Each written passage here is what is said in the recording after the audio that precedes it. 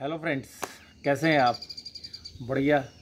मैं घर से दूर एक हिल स्टेशन की तरफ़। आपके लिए जो है, अब यहाँ से अगले पंद्रह दिन मैं लाइव भी आऊँगा आपके साथ और वीडियोस भी आएँगी।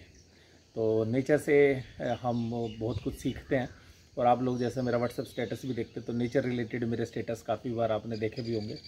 तो अब नेचर के बीच से मैं अगले पंद्रह दिन आपके साथ लाइव भी आऊँगा और वीडियोस भी यहीं से आएँगे। और आप में से बहुत सारे लोग शुगर स्टॉक्स और मेटल स्टॉक्स के बारे में चर्चा करना चाह रहे हैं तो नेक्स्ट वीडियो के अंदर हम इसी बात पे चर्चा करेंगे। तो good morning, thank you very much.